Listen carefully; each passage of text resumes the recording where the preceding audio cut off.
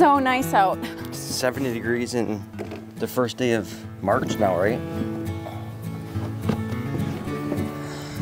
So what's on that list for the day? So we are up in Michigan, which is, we, we have all seasons this week. We're up for a week, and today is a high of like 72. Crazy but tomorrow is a high of 30. So part of the plan for our time up here this week was to kind of, of course, hang out with family, which is the best, and relax and be together.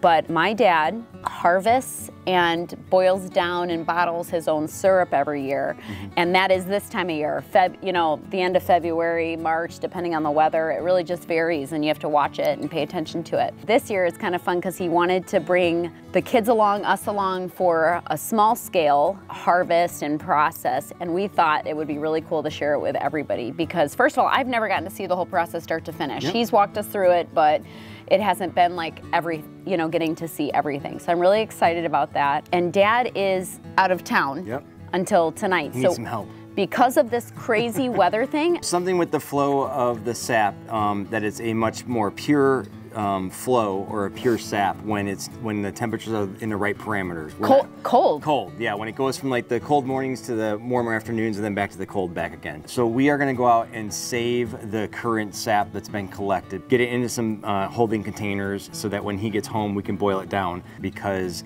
um, there's a chance that coming up here soon, if we don't get to it, like today, it will turn into this milky sap that can start to make it uh, bitter. Some mind-blowing stats that I didn't never I never knew about is maple syrup from the sugar maple tree takes about 40 to 44 gallons of sap to make one gallon of pure maple syrup. And if you've been following our family for any period of time, you know that we one gallon syrup. of syrup does not last long yeah, in our house. Yeah. And the other thing that we learned too, because we were intrigued about the whole sap uh, collection process and making our own syrup, is we didn't realize that you can make syrup off of different things. You can make it off of black walnut trees, is, is the Native Americans made syrup. We should try that, that. So we would like to do that at some point in time. Birch, so birch, birch trees sap. you can do. Um, so there's a there's a there's a variety of different trees that you can pull the sap off of and make a, a high quality syrup out of it. It's just that the sugar maple I think produces the best quality and Tasting. maybe the most volume. Yeah. yeah. Anyway, we're gonna go out. We're gonna get. Oh, he he switched up years ago to some of these poly bags because they're way easier to work with in the tapping process. So anyway, Grandpa will go into all that later on. But we're gonna go out on this beautiful day, collect the syrup, the sap, and get the sap put aside so that we can boil that down and show you the process later on here. Yeah, and he's going to teach the kids and y'all eh, just the start to finish process. He does it on a big scale normally, but here's, he's doing it on a simple scale for all of us so that anyone could anyone can do it. Do it. You could try it at home. Yeah, you don't need a ton of crazy equipment to do this. Yeah, and it really is the best. So it's going to be fun. Let's go yep. do it. Let's go. This is Grandpa's Sugar Shack. So he has instructed us while he's gone to grab his different um, stainless steel pots. We're gonna fill them up and collect the sap in there. And then because it's so cool out here right now, we're just gonna let it sit out here for the 24 hours. It'll be fine. But he's got an evaporator out here underneath the wood stove and all this cool stuff. So uh, let's get some containers and go collect the sap.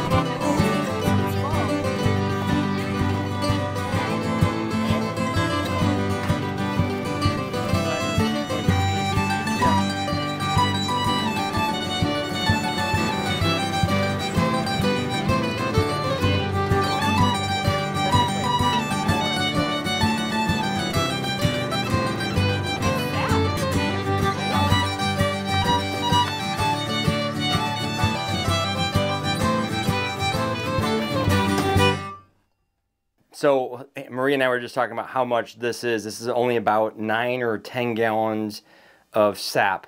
So rough calculations is that's only like a quart of syrup, which we go through that in like I don't know, two or three sittings maybe. it's super sad. It takes a lot of it, a lot of this uh, sap to make the final product. So anyway, we're gonna hopefully grab some more over the next couple days if it doesn't turn that bitter type of thing. And then Grandpa's gonna come here and we're gonna keep on following up the process. Quick timeout. Make sure you check out our new cookbooks, Everyday Breads, Gourmet Desserts, and Chicken Made Easy. You're not gonna wanna miss it. All right, back to the video. So we've been enjoying our stay here in Michigan and enjoying family time. And today is the day um, where my dad is gonna teach me, teach the kids the whole process, start to finish. We've been watching him from a distance for over 10 years. He's been um, making his own um, homegrown syrup, and it's it's the best. And so today's exciting. It's cold today.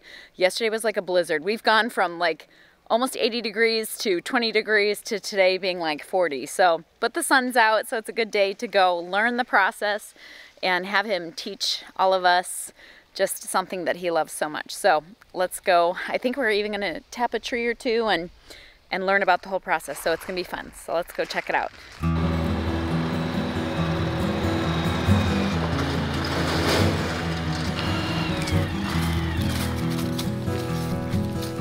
Okay, so we were, I was talking to mom inside and um, we couldn't remember how long you've been doing um, your own syrup harvest. I know it's transformed over the years too, but how long have you been doing it for? I, I think since around 2012, so about 10 years. Okay, 10 or 11 a little years. over 12 years. We had a friend who used to live in the area. He was an old gentleman, and, and he taught me how to do it. But we started with just a few taps, and uh, on the top of a stove in the in the kitchen, and then uh, that wasn't enough because we had more sugar maple trees than that. so it didn't take long before we are up to 40 or 50 taps, and now normally in a normal season I'll do 150 or so, process around three or 4,000 gallons of sap.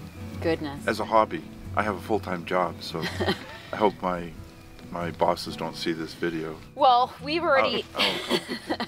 well, and we already. I, I disappear from the end of February to the middle of March. you usually. take vacation. Oh, that's wellness. it. Thank wellness you. Time. No, we got it. Wellness Self. Time. Mental wellness. health. Mental health. Yeah.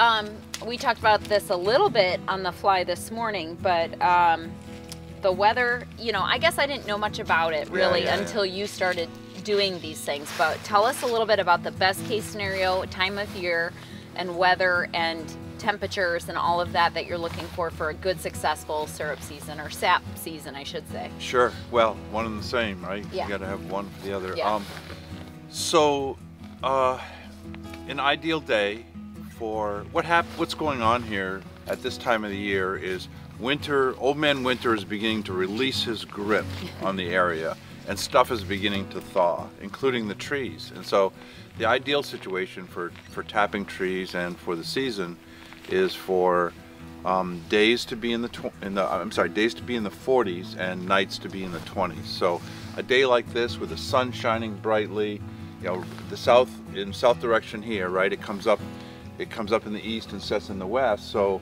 I'm looking for trees where I can tap in like a southeast area Okay. first because that's going to hit the sun first and and what's happening is the sun hits the tree and it provokes the tree into into pumping water from deep in its roots below the ground up through the tree through the cambium layer and out into the branches as the tree begins to think about i know it doesn't have a brain but We can the lord made it right as the tree begins to supply nourishment to the furthest reaches of its branches at the top of the tree that requires a massive pumping effort to get all this water tons of water up the tree and out to the branches because in a few weeks we'll see buds and then we'll see leaves and Soon. it all seems natural and normal but is an amazing process of nature and in in tapping the tree we are what we're doing for a little while whether it's a, a week or six weeks is we're going to interrupt that flow and take out with this spile we're going to drill a hole in the tree and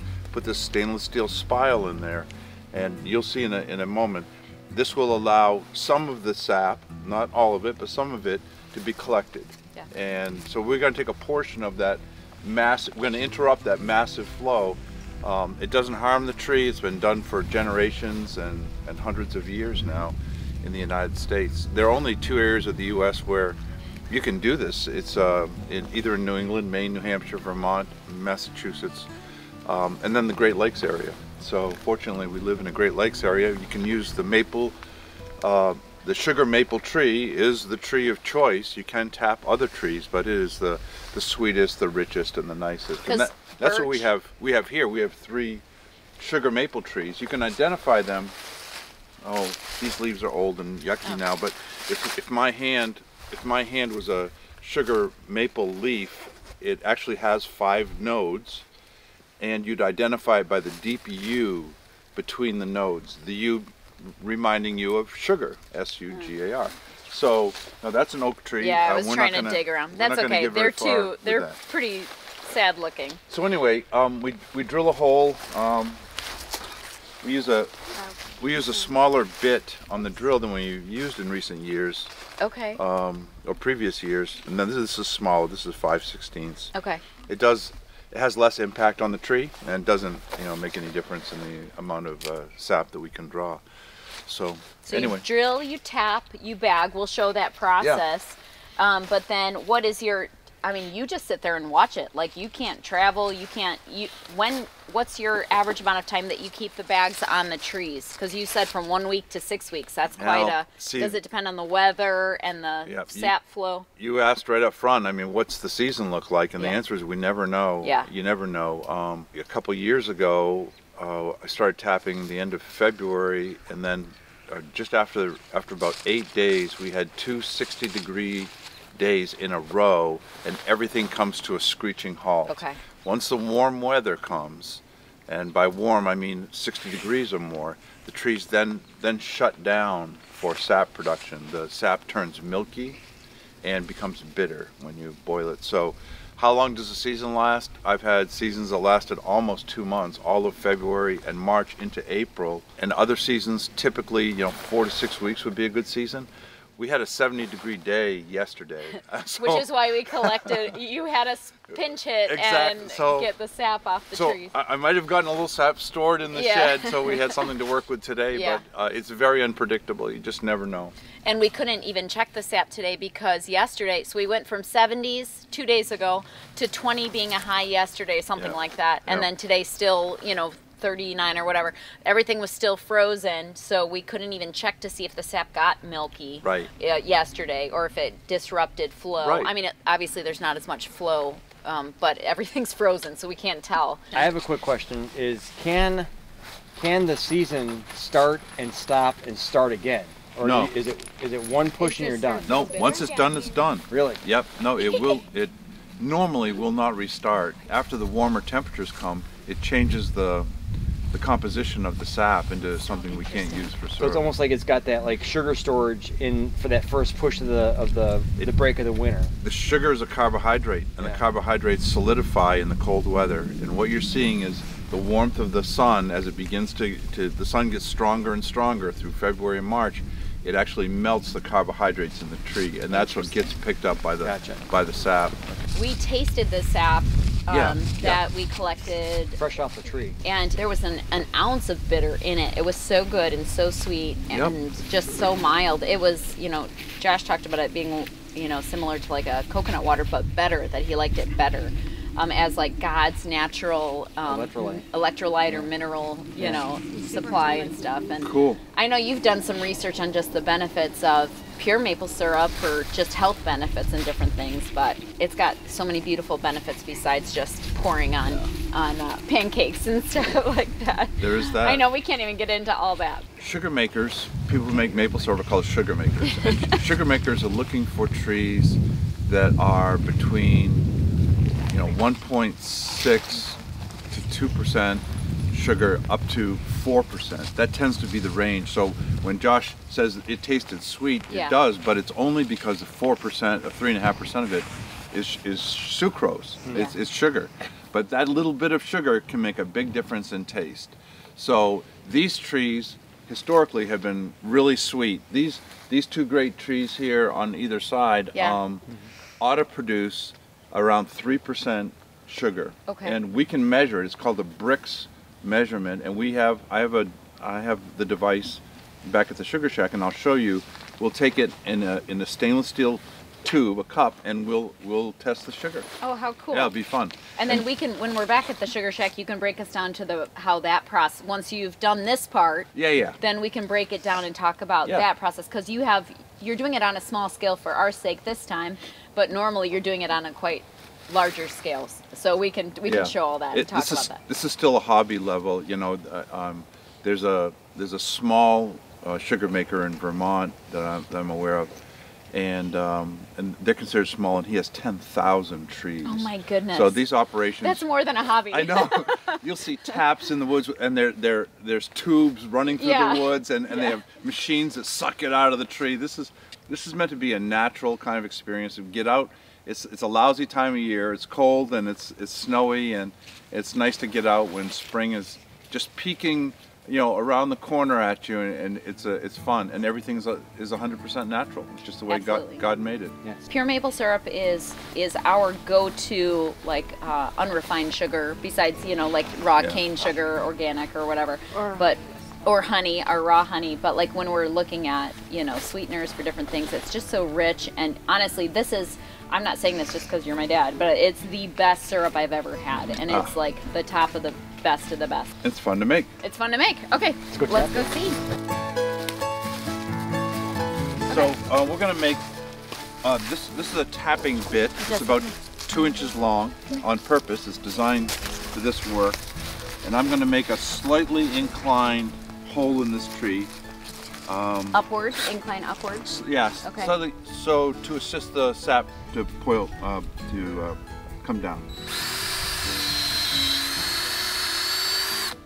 There's one. That gets some wood out of there. I'll do another one to clean it out. It's really important to get this hole as clean as you can so the sap has free uh, a free channel to, to pour out. Now it's interesting here, I, I like to tap on the southeast side because in, in this area, that's where the sun first comes up. So it gives it the whole day as the sun makes its course, you know, from east to west. I want to give as much exposure as I can to uh, to my tap. This tree is still frozen, I think, because there's n- there's no sap coming out of this, but that doesn't slow us down. We'll- Okay. We'll, put a we'll put a spot. This uh, we'll put a spile in the stainless steel thing is called a spile, and this is what goes in the tree.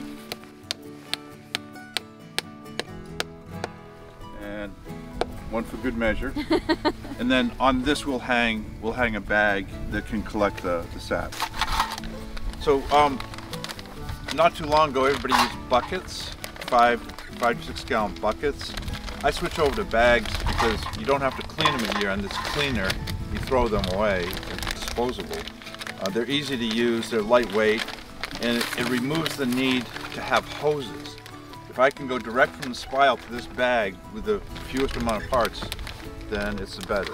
So this is galvanized steel, and I slide the, the bag in here. You see the hole. Um, the spile is going to drip into this hole and down into the bag where it'll be collected. This is about a four or five gallon bag, and in a good running tree, uh, you could fill one of these overnight. And that spile has like a little groove on it so that holds it in place. This little, Yeah, this little uh, ring, The there's ring, a little ring here, and so we, we set that uh, over the ring. You got it, Jesse. Press. Yeah. Well done. Yes. And now we just need uh, we need the sun to do its thing and warm up, and this tree will produce sap for us. Do you have in the real quick? Have you tapped this tree before? Yeah, you can see. Do you have like a spot where it's like healed over or like not? Sure, right, right here. Oh, there's a burst. Um, Is this this one right here? that's one too. That's Okay. closed off. And there's one here. There's one here. Yep. Okay. One here. In fact, there's One a here. there's a new trend in homeowners. They like to buy tap wood. It's maple. This tree, when it's old and done, cut it down, turn into boards, and these these tap holes appear as, as dark, uh, round. Uh, Like healed Ho- wood. yeah. Holes in the wood, and it's just it's just a unique thing. Huh. How cool. Yeah.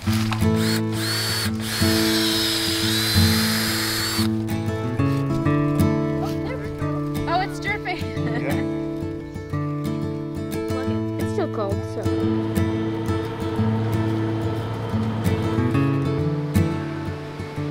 You smell a little bit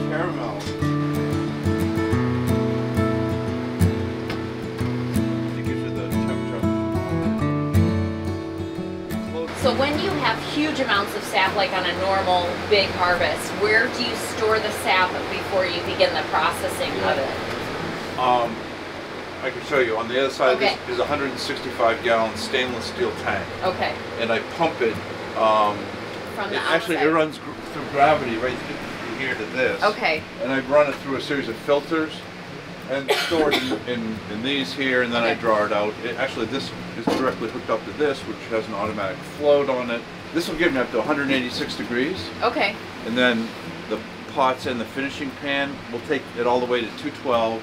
When does sap become maple syrup is the question. And and the answer is I, I need to take it from from 212 degrees, which is the boiling point of water, to uh, add seven and a half degrees to that to 219.5. At 219.5, it becomes legally maple syrup.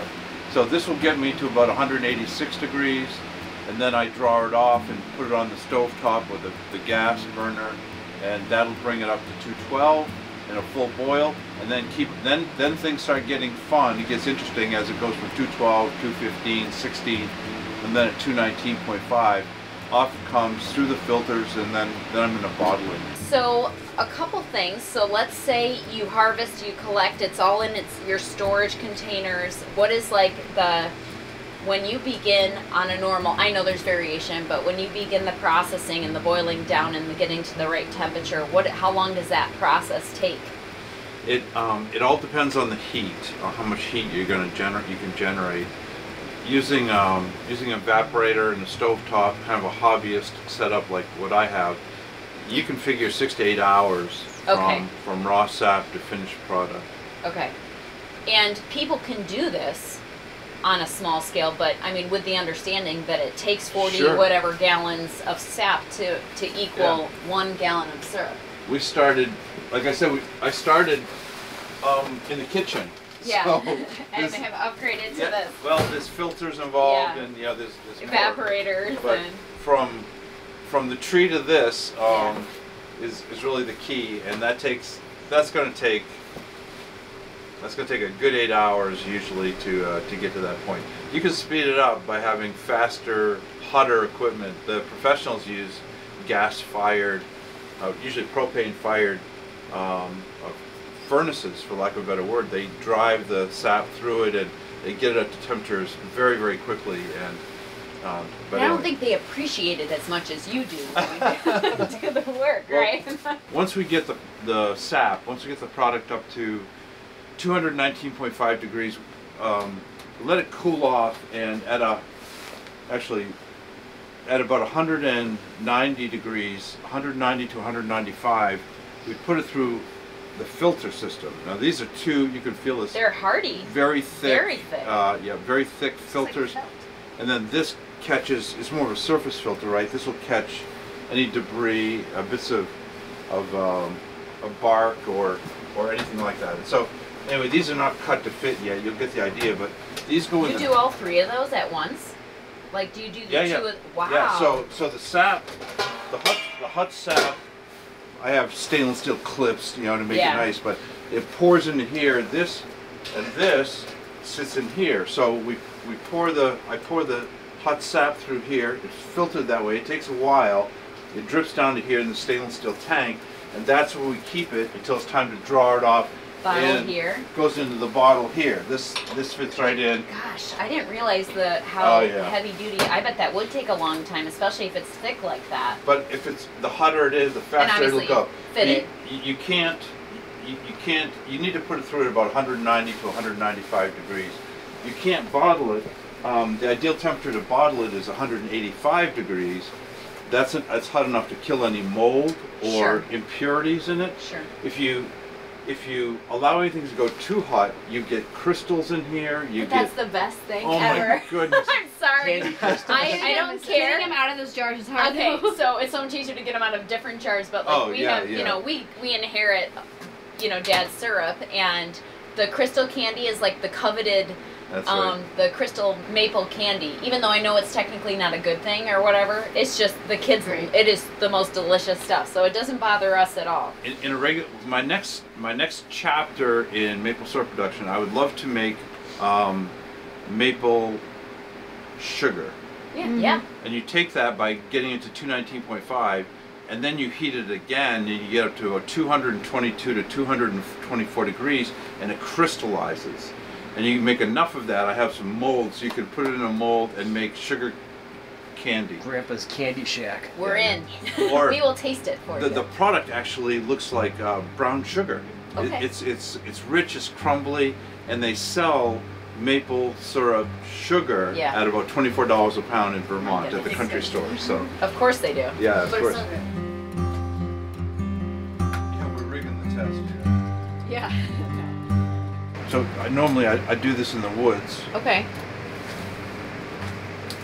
Um, you fill the you fill the stainless steel, Okay. All the way. and then um, it's going to spill over. Okay. We, we put this. It's a it's a hydrometer is what it's called, uh, and it measures on the Brix scale of what the level of. It'll tell us what the level of uh, sugar is. That's so cool. It, it's going to bounce for a minute. Let me put it down. So what this is going to come at? You see the two Yeah. just there? Yeah. This the tree that we tap for this. Um, this sap is about two percent sugar, Okay. which is normal. Um, my sweetest trees will be three to three and a half. Which are the ones we tapped today, I think, were The the, ones we sweeter took- trees. But this is from the ones that are further. What These direction? are the ones in the woods. In the woods that yeah, way. yeah. Yeah, you do this in the woods. You can test the trees, and I do. When I first tapped, I would, I would go around to every tree, and Yeah. now, now, who who could be bothered with such Right. things? But, That but was at the beginning. But this, so this settles settles in just just under two Okay. two percent. Yeah, it's right there. Yep. This one here, um, you put this in finished syrup. And it's Uh, for the this syrup is the itself. cold mark, and this is the hot. You test the hot at 211, and you test the cold at 60 degrees Fahrenheit. So two different, two different tests, one device, and this will tell you whether you're legally syrup or not. One for cold and one for hot. So this tests the syrup readiness, and this one tests the glucosity. Dad has been so gracious to show all these things, different things to us, and is taking us through the whole process on a small scale. So now it's the waiting game and watching game, right? That's right. So we're gonna wait and watch. We've already tasted and seen how the uh, the sap is transforming. You can smell it in the air. It smells like cotton candy, and it's beautiful and amazing. And so, yeah, as it continues, we're going to share the process with all of you and also show you just what it looks like when it's all done and beautiful and ready to go on your table. So, Making maple syrup is a grand exercise in watching water boil. That- That's Exactly. what, that's what it is. there's the man of the hour. Ben, come in. How are we doing? Wow. Look at that. Did it go all night? No, no, I, I turned it on. You turned it off and you turned it on this morning? Six o'clock this morning. It's all these that we started with are down to this. I mean, it literally takes 40, what'd you say, 43 gallons of 43 sap gallons to get sap. down to one gallon of syrup.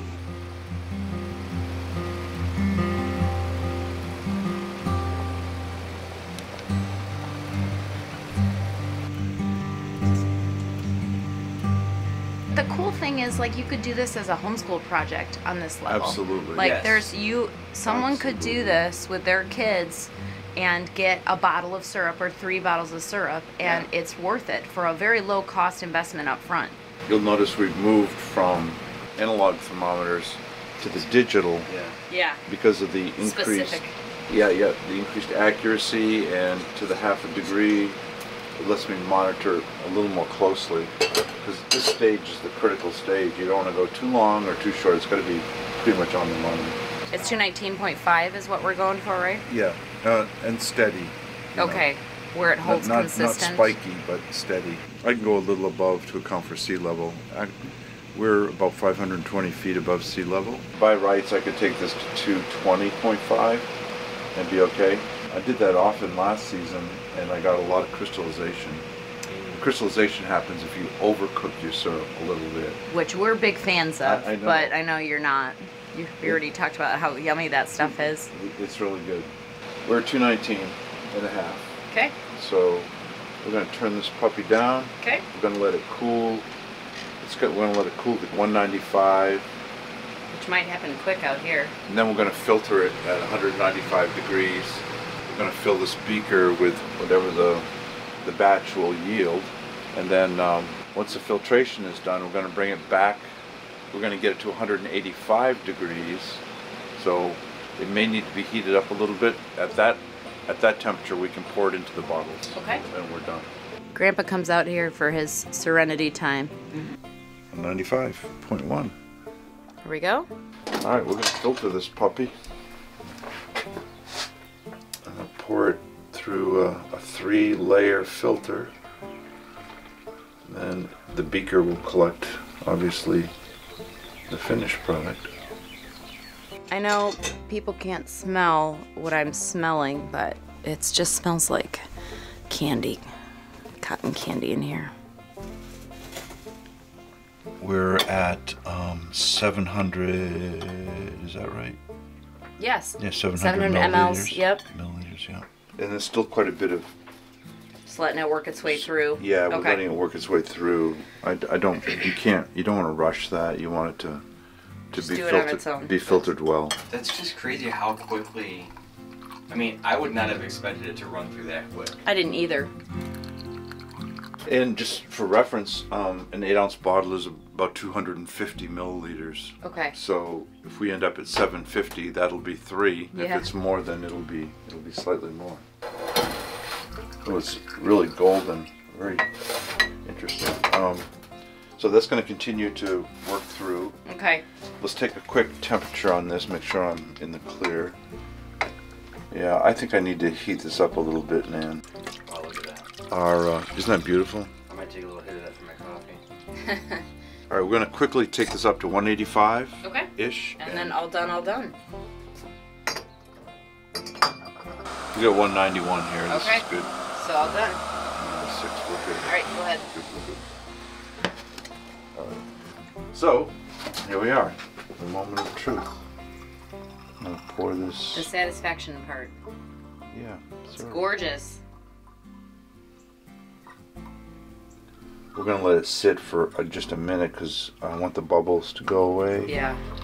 I'm gonna go more slowly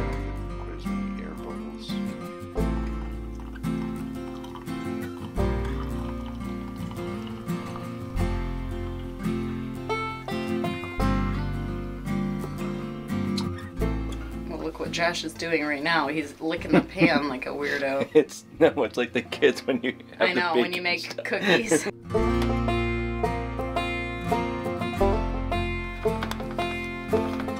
Okay, now at this point, um, this is still hot, yeah. so we're gonna we're gonna lay it down, Okay. and it's gonna create a seal to the top, Oh, cool. and until it, it cools well. Um, this one here, I didn't think about and that. you don't let them touch each other. Don't ask me why. But there's something to it. There's something to it. Um, they need to be by themselves. So when you're doing They're a little cranky, They're cranky.